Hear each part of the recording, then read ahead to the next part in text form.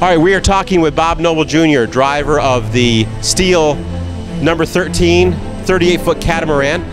It's been a great season so far for the uh, STIHL race team. JR, before we talk about the next race coming up, what is your opinion of the progress of the team so far this year? Well, Tony, uh, yeah, it's been an exciting year so far. We've uh, had three races, beginning in Biloxi, uh, which is a uh, very flat, calm water, high-speed race, and uh, we were very fortunate to edge out a win there. It's a very close competition with WHM, but uh, at the end we pulled it out. And then we went on to uh, Cocoa Beach with entirely different conditions, rough water, and uh, we really didn't have the the right setup for the boat. We didn't have the right props, and uh, we were running second. And at the end, we got passed for third, so we came out of that just happy to survive. Did some uh, damage to the boat, but we got that fixed, and then uh, went on to Orange Beach, Alabama, which likewise was a very rough race. And uh, that was a two-race venue uh, where you go out and race twice, and then they take the times and places and uh, points of each race, combine it to determine the winner. We got a third place overall, and uh, given the circumstance of having a mechanical issue in the first race, uh, the third place there was pretty good. But uh, we need to get back on the winning track here for our next venue. Well, I'm glad to hear that, and that's really what it's all about, is to have some exciting races for the fans. And speaking of that, you got Sarasota coming up, which is always a hugely popular venue for the fans in that area. Let's talk a little bit about that race coming up. You had some success there in the past. Let's talk about what your expectations are for Sarasota.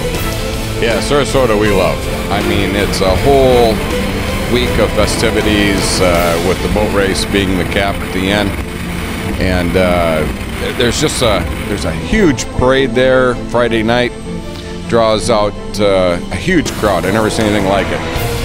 Then they have a really uh, a nice venue there where they have a meet and greet for the drivers of the race boats with uh, some less fortunate children.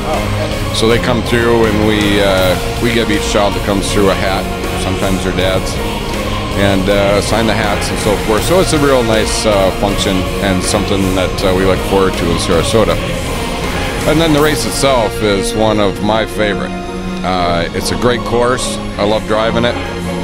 Kind of combines some rough water usually on the outside, some calm water on the inside, some high-speed turns, and uh, it's a very exciting uh, race, and, and, draws a huge crowd, both from uh, the spectators on the beach. The hotels are all filled, the balconies, and then there's a host of boats, spectator boats. I mean, some places you can walk across them. So draws a big crowd. It's very popular there, and I understand in talking to the uh, race officials that we have a pretty big boat uh, draw for this year with a lot of big boats.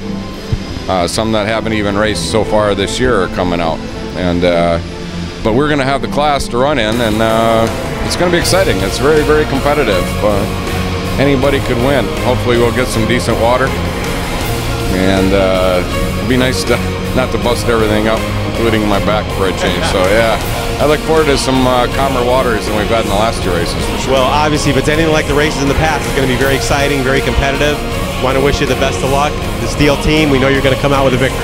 Well, thanks, Tony. We're, we're looking forward to it. We are STIHL, German engineered chainsaws and landscape products. The majority of which are made here in America by Americans. And exported to over 90 countries around the world.